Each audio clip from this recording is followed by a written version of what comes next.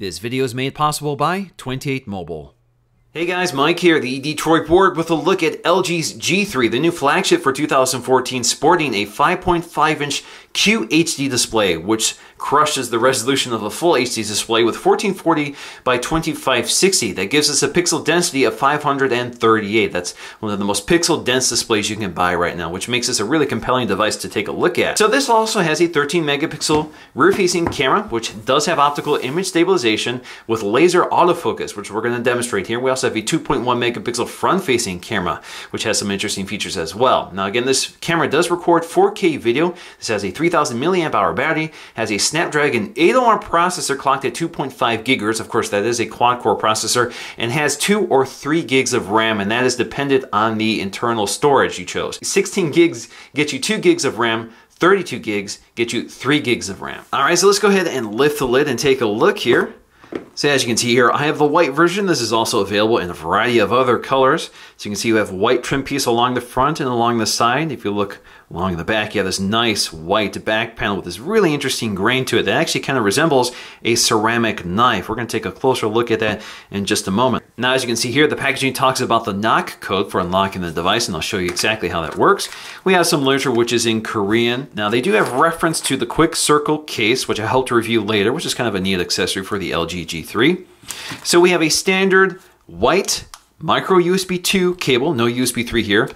We have a pair of headsets, Quad Beats 2, which are in-ear headsets, which includes a microphone, uh, inline controllers, and all those sort of features, along with replacement ear tips, as you can see here. We also have our wall adapter. This is the Korean wall adapter, which I cannot use. And then we have a power charging cradle. So they do include two batteries in here. So you get two batteries with your Korean phone. This is not common uh, elsewhere in the world, but uh, Korean phones tend to include two batteries. So these are 3000 milliamp hour batteries and uh, they include this little charger and cradle here. So as you can see here, you plug in your power supply, slip in your battery, and you can rest your phone right in that cradle.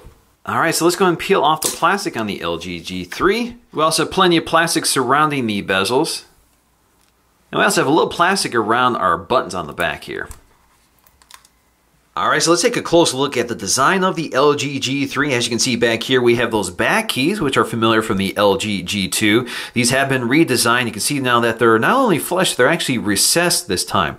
They no longer integrate the LED notification light in the power button. That's the power button at the center. We also have our volume keys up and down, and these do have dual purposes, which I'll explore later when we talk about the software. Now on the back, we have our 13 megapixel camera with optical image stabilization and 4K video. We have a dual color LED flash for more accurately lighting the scene with a cool or warmer color depending on what the scene demands. Now we also have our laser autofocusing mechanism which uses an invisible laser to read the distance of subjects. So instead of using a contrast-based mechanism in order to focus the subject, instead it uses this laser light. So it doesn't need light in order to focus. So in night conditions or dark conditions, you're able to focus without a lot of light around. So this is, gives you faster focus and much more accurate focus. Now along the bottom, you can see that we have this floating arc design. This is LG's terminology. So it gives you kind of this curved design. We have a headphone jack, a microphone, as well as a micro USB charging port. Along the side, not much. Along the other side, not much at all, except for a thumbnail port for popping off the back panel. And that's because all the buttons are on the back of the phone. Now along the top, you'll find an IR LED blaster along with a microphone. And the feature unique to the Korean model is a TV antenna. This is a feature very popular in some Asian countries. So you're able to pull out this full antenna to access your local terrestrial television. Now toward the back you'll find our single loudspeaker. This is a mono speaker but it's powered by a 1 watt amp so it's a little better than average in terms of rear facing loudspeakers. Now let's go ahead and pop off the back panel so we can install our battery. So as you can see here we have our NFC antenna built into the back panel with our electrical connections up here. On the back, you can see we have our battery compartment, so let me go ahead and slip this in. So up here, we have our combination micro SD card slot and micro SIM slot. And down below, we'll find our loudspeaker. So all I have to do to put this back on is snap it into place. And it feels pretty secure. So on the top of the device, you can see we have our earpiece. Next to that is the ambient light sensor and proximity sensor, as well as our 2.2 megapixel front-facing camera with a wide-angle lens. We also have our little notification light here. So as you can see here, when I wake it up, it does flash for you. It is multicolored, and you can adjust that under settings, and I'll show you that. So this is running Android 4.4.2, and this does have the knock-on feature. So you can double tap the screen to wake it up. You can also double tap to close it or to lock it. And if you're in the device, for example, if you're in a app here, you can double tap the status bar to close it. And if you're on the home screen, you can double tap any blank space to lock it. Now let's take a look at the home screens. You can pinch in and out to see all of them. You can tap on specific ones if you want to select them as your home screen. You can add additional ones. You can trash them as well if you prefer. Takes them out to remove. You can also tap and hold anywhere on the home screen to get to your editor. So we have our apps, so you can drag and drop apps to the home screens. You can drag and drop widgets. And you can set your wallpapers here. So you can see we have gallery, we have live wallpapers and multi-photos, so you can create your own wallpapers by adding additional photos. Now, if you go to apps here, you can drag and drop any one of them just by going up here. And then we can drag and drop this to remove it, or we can go up here to app info, takes you to this little info page. Now we also have foldering here. So let me go ahead and move this folder to a page where I can work here. So if you tap on this, you can add additional apps by going to this editor. So you can select specific apps from your app drawers. You can tap on them instead of dragging and dropping each app to your uh, folder. You can also resize the folder. So you can see you can resize it to almost fill up the entire home screen. Now if you're in the folder, you can tap to edit the name as well as tap to adjust the color of the background. So for example, if you want white, you can select that or go back to the default like so. Now if you tap and hold on one of these apps, you also get to this little editor. So you can change the icon if you prefer. So you can go with the standard icon or select any one of these other icons or add new icons. Now this also gives me an opportunity to show off LG's design sensibility. So you can see here that all the icons are pretty consistent. They have this kind of drop shadow effect with several light sources uh, with a more toned down color palette. So you can see with these layer uh, icons, they all have that very similar design scheme. You can see this little dining icon here. If you go to the home screen and take a look at some of the other apps here, the contacts app, the phone app, we go to other LG apps like the Gallery app, the Camera app, they all have this very consistent design and color scheme. So overall, the design of the entire user interface is much more toned down, much flatter. And you can also rearrange these items in the dock here. So for example, you can change the positioning of the app drawer. Of course, you can't remove it, but you can reposition it and you can add additional apps. So for example, if you want to add the Camera app, and the YouTube app here, you can see it rearranges. That's the maximum number of apps you can fit into the dock. You can also tap on these little detents here to jump to any one of these home screens. And as you can see here, we have the LG Smart Bulletin Hub. This is where you have things like LG Health and Smart Tips. And you can delete this page or turn it off under settings. And I'll show you that a bit later. So you can tap and hold the home button to activate Google Now. Alternatively, you can also swipe up to access three other features such as Quick Memo, and Q Voice, which unfortunately is only in Korean right now, and then of course Google Now. Now, Quick Memo is actually a screen grab function. So basically, it's an app that grabs the screen of whatever you're working on and allows you to annotate it and take notes. Now we also have our recent apps button. So as you can see here, we have a standard array of recent apps. So you can tap on any one of them to launch them. Or as you can see here, we can pinch in and out to change the viewer. So we can see this in a tiled view or in a list view. We also have dual window mode, which we can activate, and I'll show you that a bit later. You can clear all. And then we have some other third-party apps that appear in this tray. I think this is actually a carrier setting. I actually had to delete a bunch of these apps in order to get rid of them, but I couldn't get rid of all of them. Now, when you're in this recent apps mode, you can tap and hold on any one of these items to remove it from the list or go to app info. You can also swipe on any one of them to close them or tap on them to activate them. Now I can also tap and hold the Recent Apps button to get to settings. So for example, on the home screen, I have my settings control panel for the home screen. But if I'm in Chrome, this brings up the settings control panel for Chrome. Now, if you tap and hold the back button, it gets you to the dual window mode. So the dual window mode allows you to open up two apps at once in a side-by-side -side viewer. So for example, I can open up Chrome and YouTube. So now I can watch a video in one window while browsing the web in another. So as you can see here, when I tap on them, I can resize the specific window here. This tab also kind of moves around when you tap and hold on it. But basically, that's all there is to it. You can also operate the back button inside your window here. Uh, of course, it does have to be highlighted in order for that feature to work. So for example, if I want to go back in the browser, I have to highlight it. If I want to go back in YouTube, I have to highlight as well. Now in terms of our drop-down notification sheet, as you can see up here, we have our quick setting toggles, we have our Q slide apps, we have our brightness controls and volume controls. If you go to our gear setting up here, you can see that we have more volume controls so we can independently control our volume settings as well. And then we have all of our notifications down here with this big red clear button to clear them all. You can also quickly jump to your settings panel up here. And the settings panel actually has several options here. So you can switch to a tab viewer, or you can switch to a list view, which is actually what I prefer. Now, in terms of these Q Slide apps, they're LG apps that basically hover over whatever you're doing. So, for example, we have an internet browser Q Slide app. So you can see we have a floating window here, which stays floating on top, allows us to do other things in the background. We can change the transparency. We can also resize it. And then we can also maximize it if we prefer. Let's open up something else. So for example, let's open up the calendar app. So there we go. We have our calendar and we can do the same thing. We can resize it and that sort of thing. Now you can only open up two at the same time. So for example, if you want to open up another one like the file manager here, says you've already reached the maximum here. You can close them out like so and open up another one. Now, if you're in an app that supports Q slides, such as the calculator app here, you can also activate the feature just by tapping that icon up here or resuming full screen like so. Now taking a look at our quick settings toggles, you can see there's a lot to pick from. And if you want to access any one of these control panels, just tap and hold on them. It takes you right to the control panel. Now you can toggle on things like sound and vibrate and go to silent. Uh, you can also toggle off Bluetooth, rotation lock, data roaming, turn off your location. You can enable hotspotting. You can enable syncing. You can turn off NFC. You can also enable or disable Q Slide apps, so that panel will disappear if you disable it. You also have your QR remote. This will bring up this little widget here for controlling your AV equipment using the IR Blaster. Now we also have Q Voice, which basically just activates the Q Voice app, and unfortunately it's only in Korean right now. We also have airplane mode, battery saver mode, Miracast, which allows us to broadcast this display to a Miracast compatible device, like for example my Samsung Smart TV. You also have quiet mode, which is basically a do not disturb mode here. So you can see that it's muted your notifications and it's telling you right now that you're in quiet mode. You can also tap and hold on that to get you to the quiet mode setting. This allows you to adjust its behavior and set specific times of day you may want this to be activated. So for right now it's on always, but if I want to select a specific time of day, so for example at nighttime or certain times of the week, I can set that here. I also have my screen timeout settings, which is basically a quick toggle. So for example, I can change it to 15 minutes, 30 seconds, 5 minutes. Now I also have a shortcut to the Q Memo Plus app, which again allows me to annotate a screen grab. We also have our LED light, so we can turn off our LED notification light or turn it back on. You can also tap on it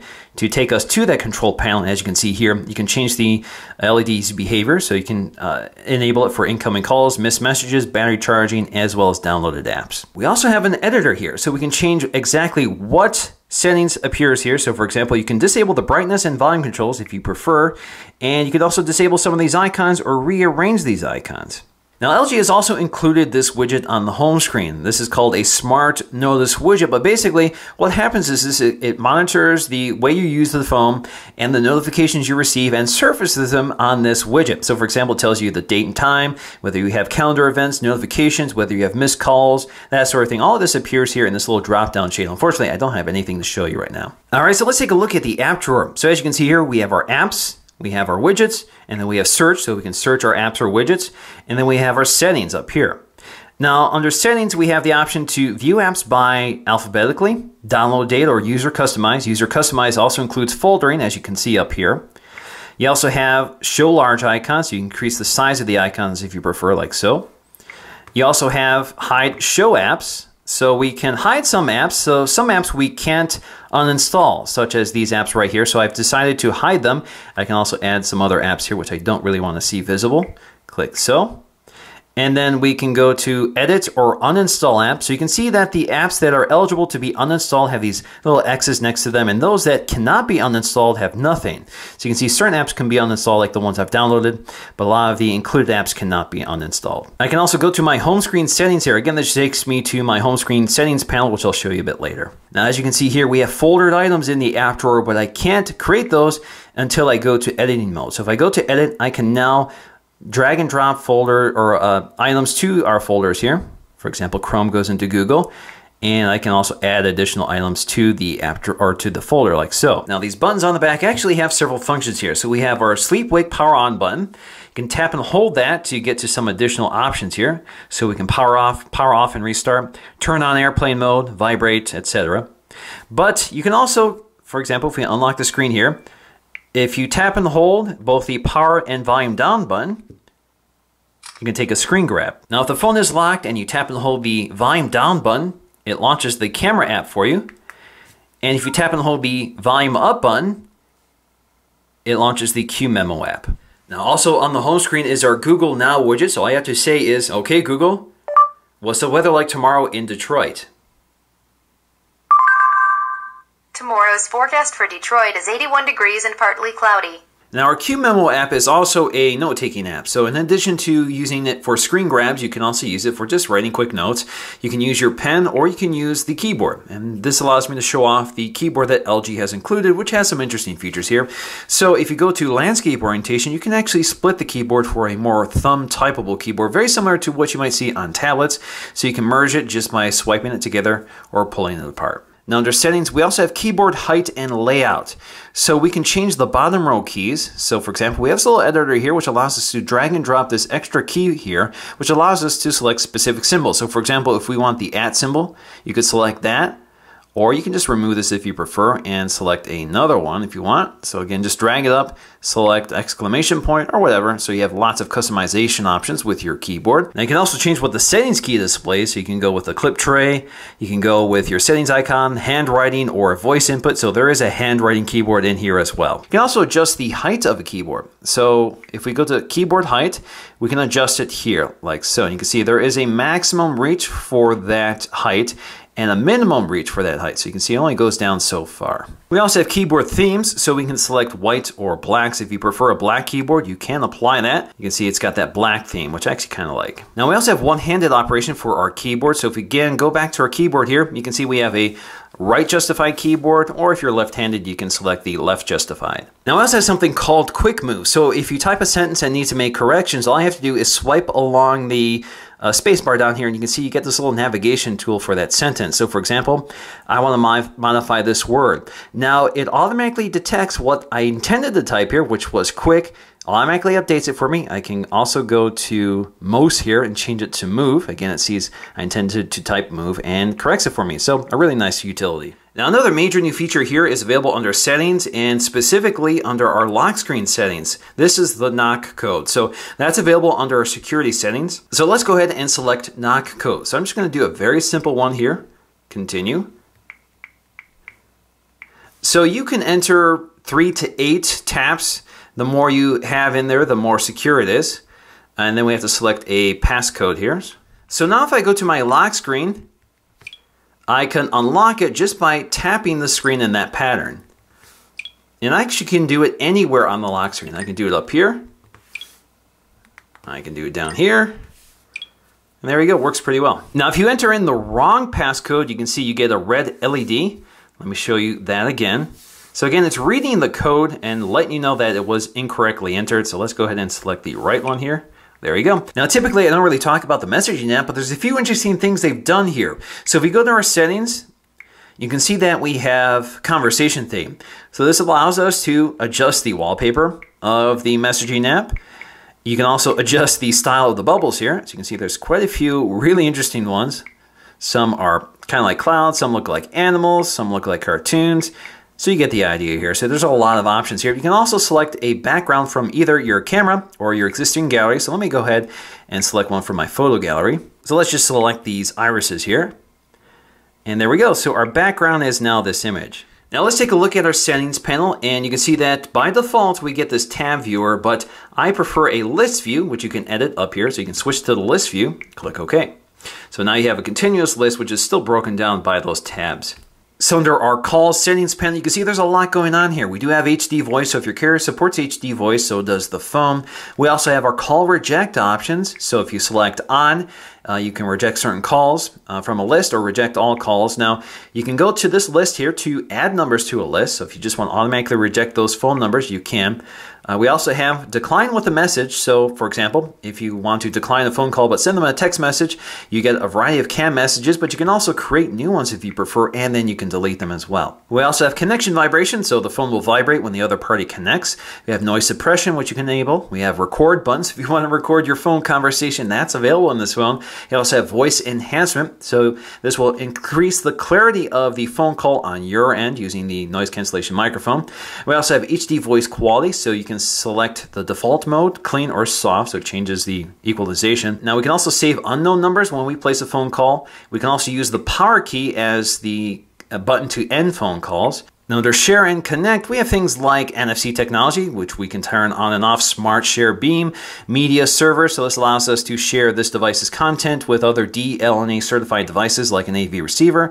We have Miracast, which we can toggle on and off as well for broadcasting our display wirelessly to a supported device like a Samsung Smart TV in my case. And we have LG PC Suite. This allows us to wirelessly connect to our PC using software to modify or to manage content and apps on our device. Now under sound, we have the standard array of options, our volume, our tones, our ringtones, our text tones. But what I really want to show you here is that you do have the option for the phone to read back caller ID information or messages automatically. So you can enable this and it will automatically speak to you. So under display, we have our standard array of settings, brightness, screen timeout, the screen off effect. You can see that the uh, Retro TV is the defaulted one, but we also have black hole and fade out. We have font type, which you can change. I actually like the standard font. You can see the font they're using here, New Smart Gothic. Uh, we also have font size, which we can adjust. Smart screen. So this does have a smart stay technology, very similar to Samsung. So basically the camera is watching for the presence of your eye. So if you're looking at the display, it will prevent the screen from going to sleep. And if not, you'll get a little notification in the status bar up here that lets you know that it's about to turn off. Now we can also adjust our home touch buttons here. So we can adjust the button combination like so. So for example, we have notifications, Q memo, plus Q slide and dual window mode. And basically all we have to do is drag them up here and we can also reposition them. And you can see that we have a limited number that we can add. So if we try adding additional ones, they'll bump them out of the way. You can also select the color of the home touch button. So you can see white is actually the default here, but you also have white with gradation. You can see it changes that down here right away.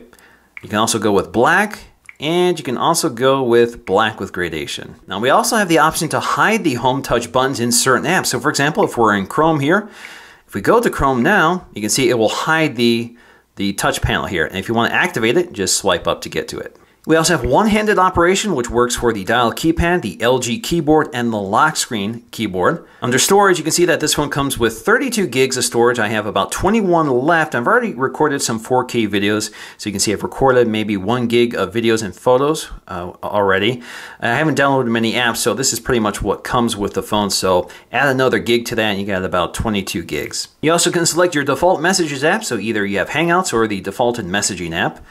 You also have your apps. So here you can manage your apps. You have your downloaded apps, apps on the SD card, apps that are running in the background. It has to populate that list. You can see how much RAM it's using right now. So on the three gigs, we're up to two gigs of RAM in use. And we also have guest mode, which is very interesting here. So all I have to do is activate this feature and what I've done here is select a specific type of lock screen. So I already set a code up here. So now if I go to my lock screen and use that specific code here, it will actually unlock the device into the guest mode. So very simple here. Now they have very restricted access here. They only have a couple of apps they have access to. They don't have access to your account or anything like that. So they won't see your email notifications or anything like that. They'll just have these apps that they can use. And all of that is highly customizable here. So let's go back to my account there. You can see it takes me right to my account. And again, if you go to guest mode here, you can select specific types of apps that are allowed. So you can see that these are the ones that came defaulted with guest mode. You can also select uh, the wallpaper here, so you can change the wallpaper if you want. Now we also have our shortcut keys, which I talked about earlier. I find this very useful here,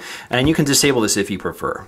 Now under battery, you see our settings panel here, which allows us to enable the battery percentage icon in the status bar up here. That's off by default. You can see that at 66%, it's estimating we have about 6 hours and 56 minutes of life left. Uh, you can also enable battery saver mode, which will activate at 30%. Now if you tap on it, you get to more settings here. So you can enable the behavior of battery saver mode when it activates.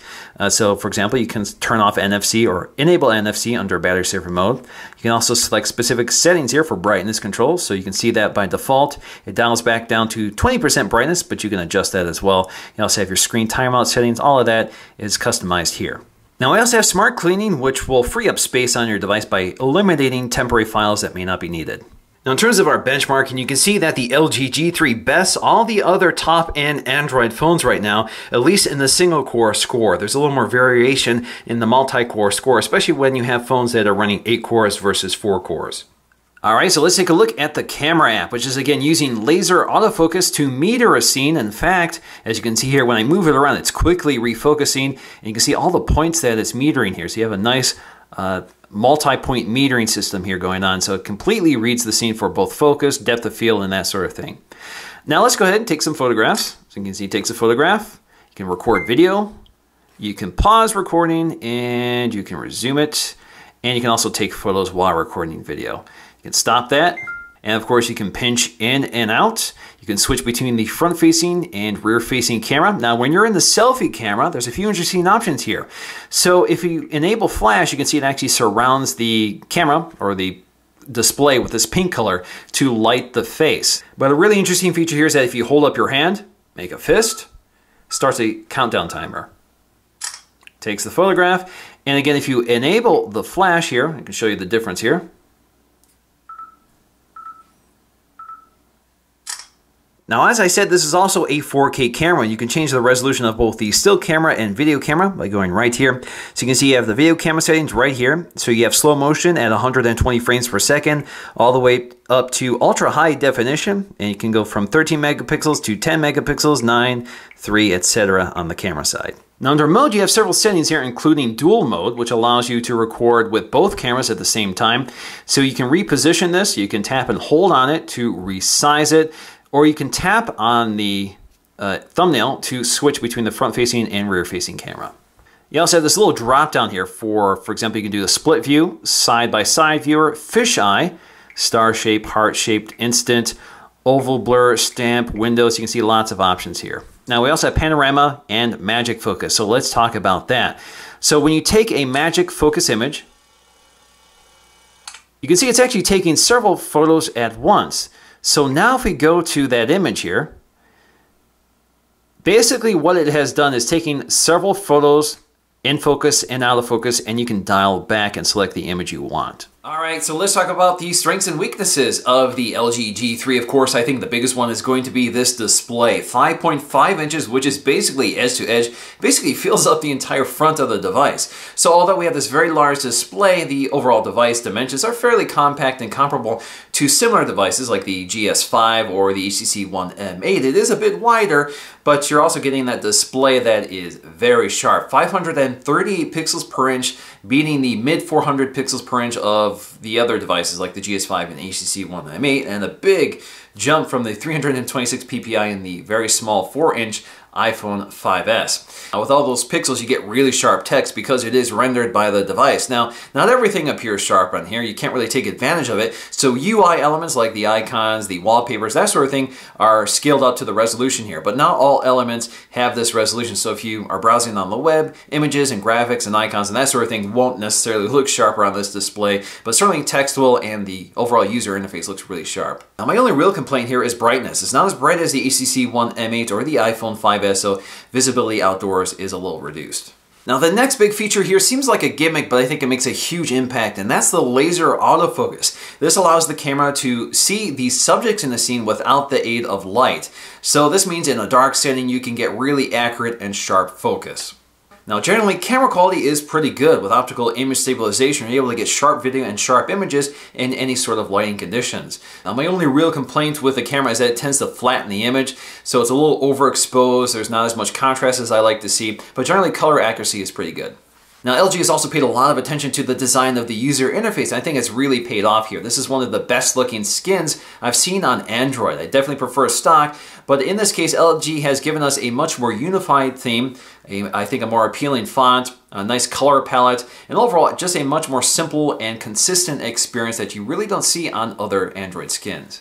Now, although the LG G3 doesn't have front-facing speakers like the HTC One M8 or the Sony Xperia Z2, it does have a pretty loud rear-facing speaker, which is pretty clear. Now, like most rear-facing speakers, it is prone to positional distortion, so it sounds different depending on how you're holding it, whether you're holding it in your hand and kind of muffling the speaker in your palm, or placing it on a table, or holding it with two hands in landscape orientation, so it tends to distort a bit under those circumstances. Now, the speaker at maximum volume tends to blow out, so maybe the amp is a little too strong for the quality of the speaker they've included. Now the G3 also seems to be prone to overheating. So for example, I was recording some 4K video this weekend and during that recording session, the device actually shut down the camera and told me it was overheating and needed to cool down so it couldn't record my video.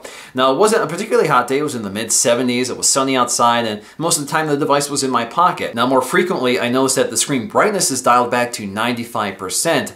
Just out of normal use. I'm not doing anything texting, I'm not gaming, I'm not exporting anything. I'm just using the device and at some point it seems to run a little too warm for the system so it dials back the screen brightness automatically. Now, generally speaking, I actually really like that the keys are on the back of the phone. This means that when you're handling the device, you're not accidentally pressing the keys on the side of the phone. So I actually really like this design. I think for a lot of people, they may have trouble getting used to it, and there's still some tactile issues here. It's kind of hard to feel for what button is which in many cases, so you end up looking at the phone. But I think in time, you definitely get used to it, and you actually prefer it in the end. So in conclusion, with that beautiful display, excellent camera with laser autofocus, which makes a huge difference, and a well-designed user interface, I think the LG G3 is one of my favorite phones out there right now. So that's going to do for me in this video. Thanks for watching and I'll see you again in the next one. So the difference here is, this dropped it.